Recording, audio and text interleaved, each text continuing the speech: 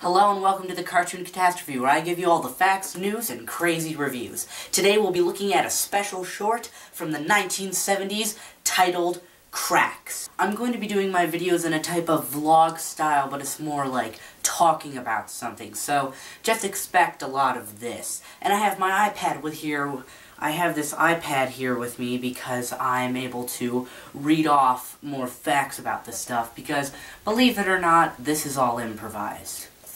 Now let's tackle the subject at hand. A short titled Cracks. It aired on Sesame Street in the mid-70s and early 80s. But, believe it or not, it only aired 11 times.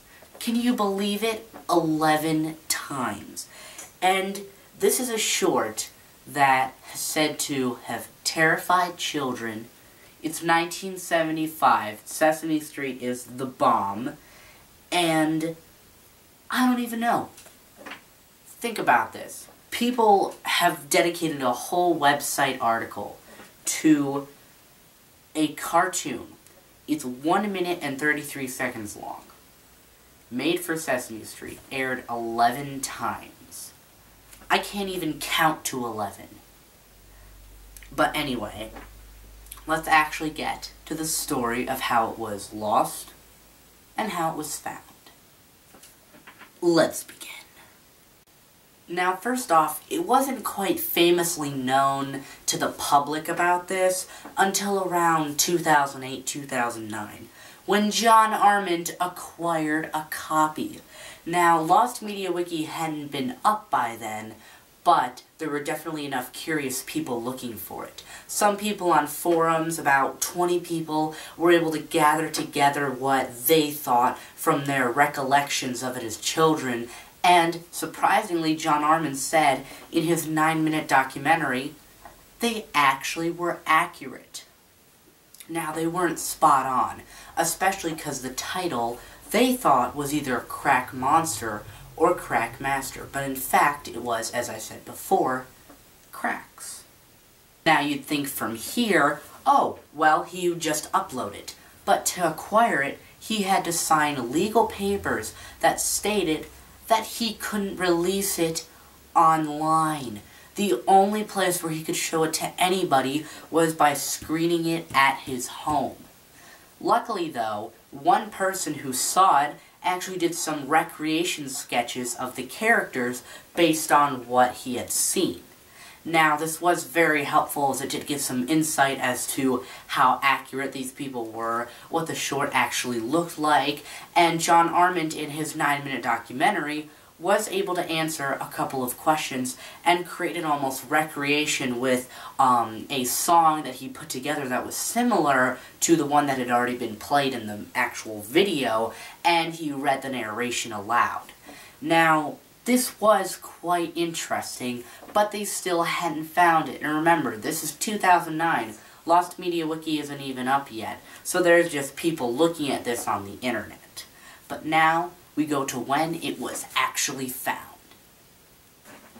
Now surprisingly, around 2012 though, people at the Lost Media Wiki were actually searching frantically everywhere for a copy of this thing.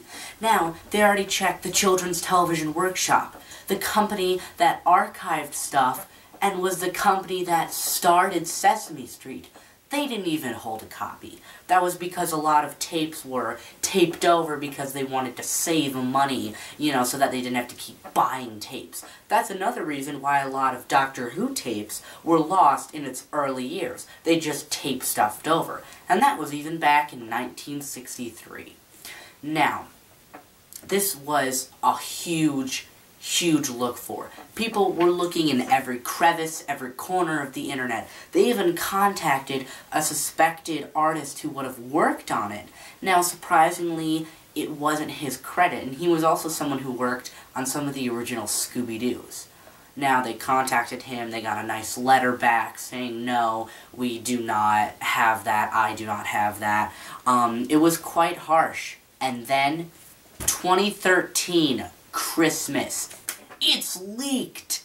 And surprisingly, the person who leaked it stayed anonymous. They just sent it in a file. Now, the guy who actually runs Lost Media Wiki, Dycaite, if I'm pronouncing that correctly, I don't know, it's Australian, please forgive me, um, he was like, okay, this is a fake. But when he actually looked into the folder, it's the real thing.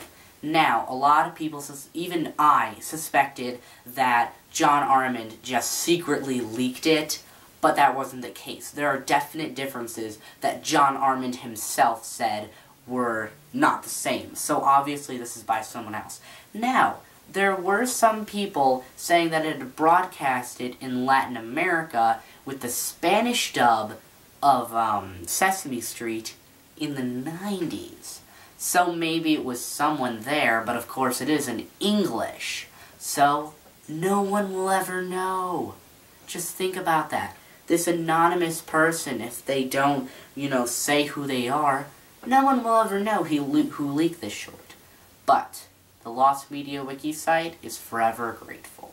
And you can look it up on YouTube right now. Just look up um, Lost Media Cracks. You'll find it. It's very easy to find. It has over a hundred thousand views. That's how big it was.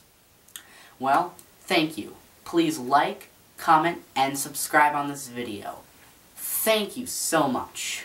And I don't know what else to say. Peace out. Thank you so much for getting through this travesty of a video. I really had to do this last minute on Windows Live Movie Maker because something wasn't working with my Adobe Premiere software, but just thank you so much. Please um, comment, subscribe, give me ideas for videos. I'll do anything. I'm mostly a reviewer though, but thank you so much, and hopefully I can get another video out, maybe around Saturday or Sunday if I have the time. Thank you so much, and goodbye.